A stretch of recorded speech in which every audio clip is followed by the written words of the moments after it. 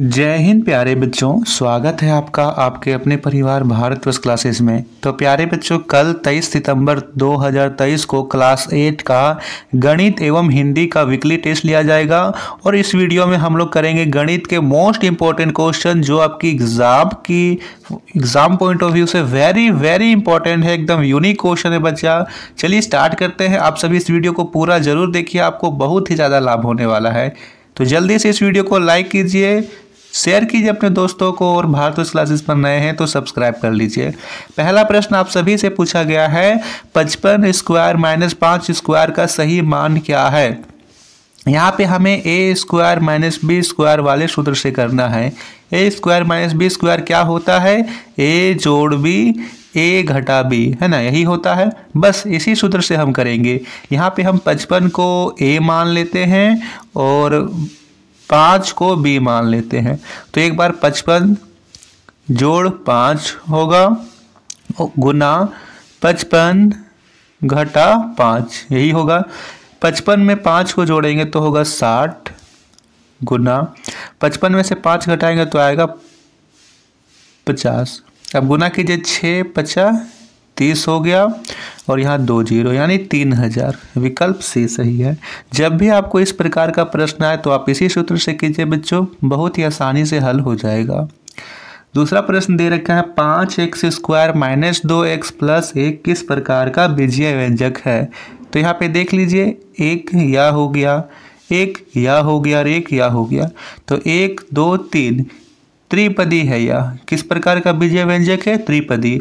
एक पदी की बात किया जाए तो यहाँ पे दो एक्स हो सकता है, उसके बाद थ्री वाई हो सकता है, यानी एक ही पद होगा।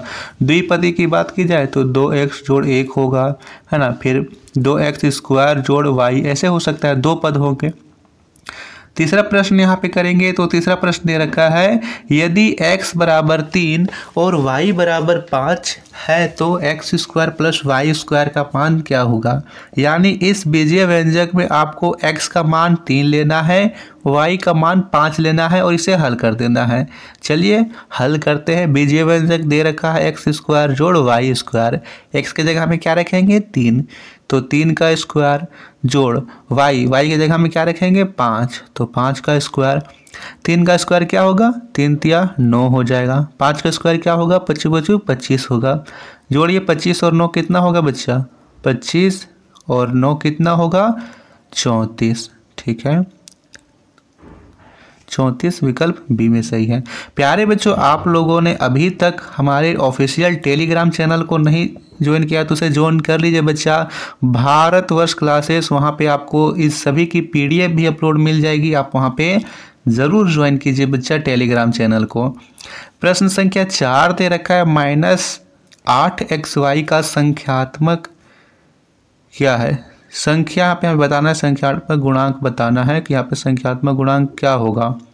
माइनस आठ आठ एक शून्य तो यहाँ पे जो माइनस आठ है, वह संख्यात्मक गुणांक है, क्योंकि यह एक अचर पद है।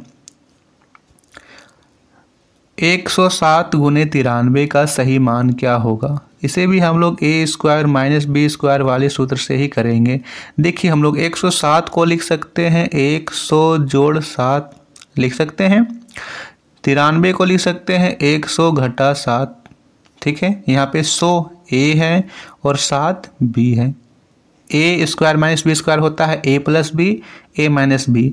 उसी रूप में यह दे रखा है। अब इसके आगे हम कर लेते हैं। क्या होता है? A square minus b square, यानी सौ का स्क्वायर माइनस सात का स्क्वायर। सौ का स्क्वायर कितना होगा? दस हज़ार। और यहाँ सात का स्क्वायर क्या होगा? उनचास। तो हज़ार में उनचास घटाएँगे तो नौ हज़ार नौ सौ इक्यावन। विकल्प ए सही है। क्या बच्चों? विकल्प ए बिल्कुल सही उत्तर है। प्रश्न संख्या छठा दे रखा है। A square minus b square का विस्तृत रूप क्या होगा? ए प्लस बी गुना ए माइनस बी ए जोड़ बी घटा c a b minus b c minus c a या इनमें से कोई नहीं। तो हमने इसे अभी देखा। A square minus b square का विस्तृत रूप होता है ए प्लस बी और ए माइनस बी ठीक है? सातवां प्रश्न को करिए। सातवां प्रश्न दे रखा है। ए को तीन ए जोड़ बी से गुना करने पर क्या होगा? यानी एक पदी, यहाँ पे जो एक पदी व्यंजक, उसे द्विपदी से गुना करना है। तो देखिए, ए को ऐसे लिख लीजिए, हमें गुना कैसे करनी है? तीन ए जोड़ बी से करनी है। ठीक है? ऐसे ही गुना करनी है। तो चलिए करते हैं। सबसे पहले ए की गुना यहाँ पे इससे करते हैं।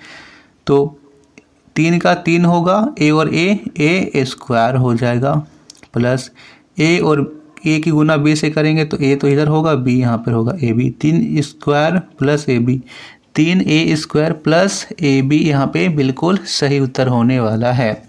तो यहाँ पे देखिए, इसमें से कोई भी नहीं होगा, क्योंकि यहाँ पे तीन ए स्क्वायर आएगा प्लस ए बी यह इसका बिल्कुल सही उत्तर होगा। सातवां, आठवां प्रश्न दे रखा है, तीन ए स्क्वायर जोड़ पाँच बी और पाँच ए प्लस तीन बी का योगफल क्या होगा? हमें जोड़ देना है। तो देखिए, समान पदों को देखिए। यहाँ पे तीन के साथ भी ए है, पाँच के भी साथ ए है। तो तीन और पाँच दोनों को जोड़िए। तो तीन और पाँच आठ हो गया। ए स्क्वायर और ए स्क्वायर, ठीक है? ए स्क्वायर और यहाँ पे ए है।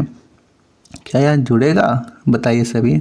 यहाँ पर भी ए स्क्वायर कर लेते हैं। अब यह सही है। तीन ए स्क्वायर और पाँच ए स्क्वायर तो आठ ए स्क्वायर हो गया। प्लस पाँच बी और तीन बी पाँच और तीन, आठ बी तो यहाँ पे जो ए के साथ स्क्वायर था, वह छूट गया था। यहाँ पे पाँच ए स्क्वायर होना चाहिए। तभी तो समान पद जुड़ेगा। तो तीन ए स्क्वायर और पाँच ए स्क्वायर को जोड़ें तो आठ ए स्क्वायर आया। पाँच बी और तीन बी को जोड़ें तो आठ बी आया। तो आठ ए स्क्वायर प्लस आठ बी, यानी विकल्प ए सही होगा। आठवां प्रश्न दे रखा है बच्चा, यदि यहाँ पे एक्स स्क्वायर जोड़ पाँच का मान क्या होगा? यदि x बराबर सात है, यदि x का मान आपको यहाँ सात लेना है तो एक्स स्क्वायर प्लस पाँच का मान क्या होगा? x की जगह में क्या रखेंगे? सात। तो सात का स्क्वायर प्लस पाँच, सतु सतु उनचास। उनचास प्लस पाँच। उनचास और पाँच को जोड़िए तो आएगा चौवन। विकल्प ए सही है। क्या सही है बच्चा विकल्प? ए सही है। अंतिम प्रश्न दे रखा है कि यदि एक आयत की लंबाई और चौड़ाई तीन ए तथा दो बी, यानी लंबाई तीन ए और चौड़ाई दो बी हो तो आयत का क्षेत्रफल क्या होगा? तीन ए लंबाई है और चौड़ाई दो बी है। ये देखिए, आयत हम पहले बना लेते हैं। यह एक आयत है, मानिए। इसकी लंबाई दे रखा है कि तीन ए है, ठीक है? चौड़ाई दे रखा है कि दो बी है। तो आयत का क्षेत्रफल क्या होगा? बच्चों, आयत का क्षेत्रफल होता है एल इंटू बी यानी लंबाई गुने चौड़ाई। लंबाई दे रखा है तीन ए और चौड़ाई दे रखा है दो बी। तीन ए और दो बी की गुना कीजिए, तीन दूनी छः ए बी। छः ए बी विकल्प ए सही है। तो बताइए आप लोगों को दस में से कितने सही हुए और कितने बच्चों ने अभी जा करके जल्दी से भारत क्लासेस टेलीग्राम चैनल को ज्वाइन किया? तो बच्चा, वीडियो को लाइक से ज़रूर कीजिएगा। इसी प्रकार हम आपकी शानदार तैयारी करवाएँगे। और याद रखिएगा कल आप सभी के लिए महा मैराथन क्लास होने वाली एकदम अच्छे से रिवीजन करेंगे। उससे, उस वीडियो को देखने के बाद एक भी प्रश्न आपका बाहर से नहीं आएगा। तो इस वीडियो को ज़रूर देखिएगा। धन्यवाद।